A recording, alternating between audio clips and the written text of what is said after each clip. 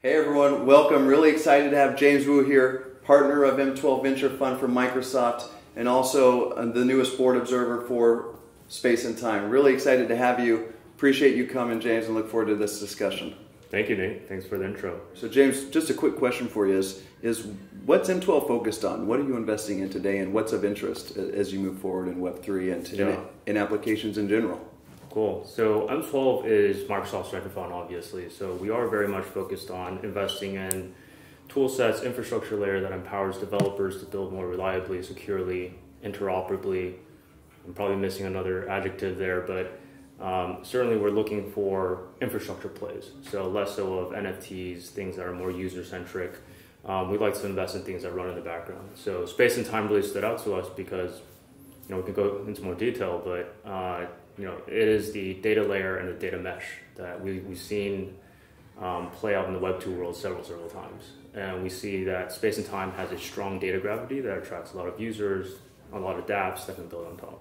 Where do you think the application development is going? You, you, have a lot of applications that are being in, being built in Azure. You're seeing a lot of applications coming from a decentralized perspective within Web3. Uh, how do you think about the, the world of on and off chain data and the, the, the application development of the future? Yeah, so I'm a true believer of Web 2.5. Uh, I believe that Web 2 has to work with Web 3, and there's a natural transition from Web 2 world to Web 3. And space and time fits in that mold because, yes, there is chain, there's on chain data today, but the majority of data is still off chain. So, how do you merge those data insights together in real time? That's still a missing piece within the Web3 arena. And I think space and time is just very well positioned to capture that market opportunity. Yeah, you think of all the customers out there that are running on Azure and have massive amounts of data and have familiar SQL tools, for example, if we're talking about space and time, but just familiar tools in general and, and being able to bridge that on, on chain is, is something that's, that's really important. I know it's mm-hmm. something that we're focused on as well. Um, where do you think that, that the market is going from from M12's perspective on, on, on the, the, the use of data and privacy? So there's a lot of questions around, around data privacy, on-chain data, off-chain data? What are should be the open data standards of, of, of, privacy of data? Yeah, I think that's the world of cryptography. I'm not a tech guy, but I can tell you that Microsoft is very much focused on how do we leverage cryptography to ensure privacy, to ensure that data, uh, not only consumers but enterprises are being protected.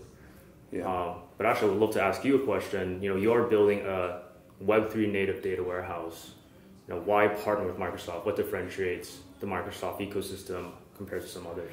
Yeah, no, I think about Web three in general, right? To, to start out, and and I think that uh, there's there's amazing applications being developed. There's DeFi, gaming, enterprise applications being developed in a decentralized manner, and uh, and I think there's really two missing pieces. One is the ability to to bridge on and off chain data in a, in a familiar environment, mm-hmm. especially as we talked about all the enterprise applications out there that are looking for familiar tools to attach and connect to smart contracts in the blockchain.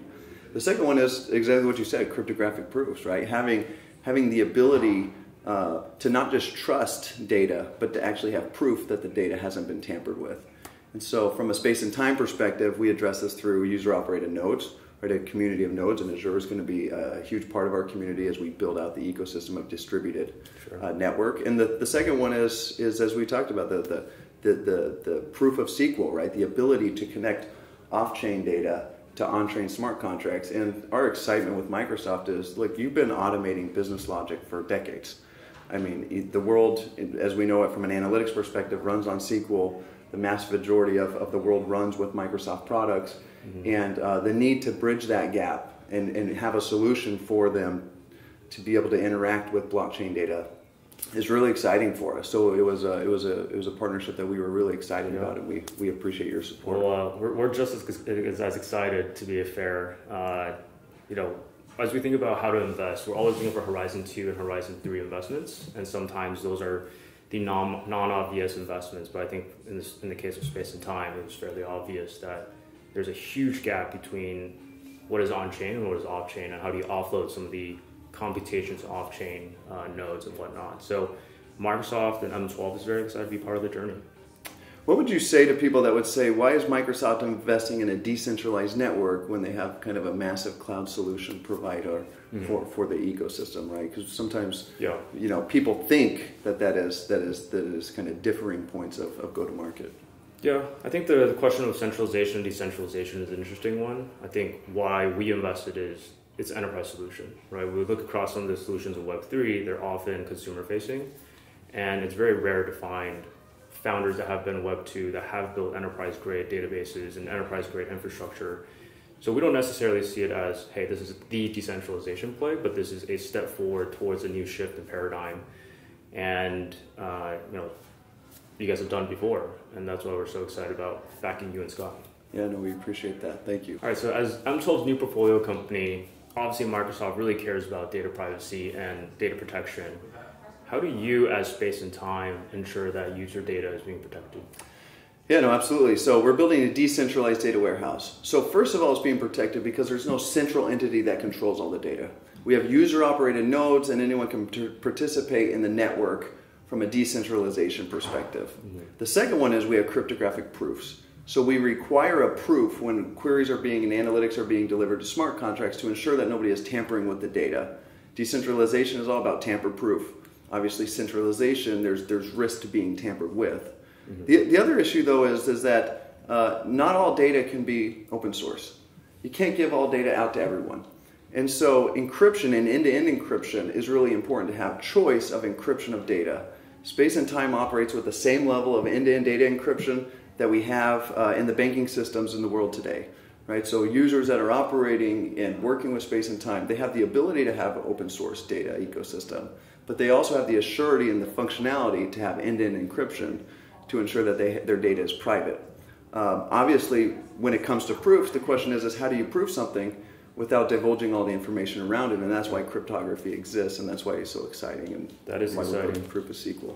That's exciting because now you're not requiring all central databases to then fork over and to put all their data on chain, but you're keeping it in a centralized uh, system, but still providing the proof that is absolutely tamper proof. Absolutely. And um, if you um, if you think about proof of SQL, where we're headed on a roadmap is making that a product. Mm. So although you may not decide to run within a decentralized data warehouse like space and time, you may want to continue to operate, for example, in central databases, for example, in Azure. But then the question is, is as we're running these, uh, you know, uh, analytics within a database, how do we still ensure that if we want to connect data to a smart contract, that it's mm-hmm. trustless? And so, proof of SQL roadmap item is that we're building it to turn any centralized data source into a trustless analytic feed directly to a smart contract to open up the world of analytics. And that's what we talk about garbage in, garbage out. If data has been tampered with from the source, then all of a sudden all your contracts, all your business logic is tampered with. Absolutely. No, absolutely. One of the great things about blockchain is, is all that data is there. So we we index and we bring in all the blockchain data and we have a consensus mechanism to ensure that when data comes into space and time and is readily available in relational data stores, that it's it's it's a, it's a trusted and a trustless uh, environment to your point, bringing data from off-chain, we need to make sure that you know you're bringing data that you can trust and is accurate.